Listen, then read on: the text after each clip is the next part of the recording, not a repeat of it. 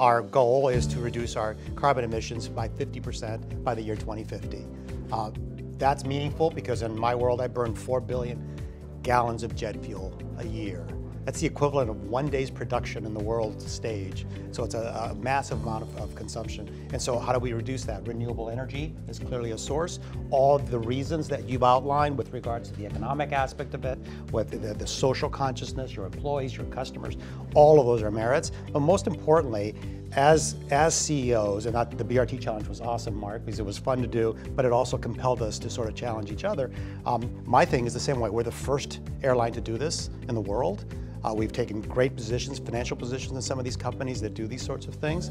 Um, and importantly, it's one of those things that if you believe in an issue, can you do something about it is a question you ask yourself. And if you can, the most important question is, will you do something about it? And for us, putting that goal out there for ourselves is going to compel and lead others to do the same thing. And that's kind of the driving mission for our, our work.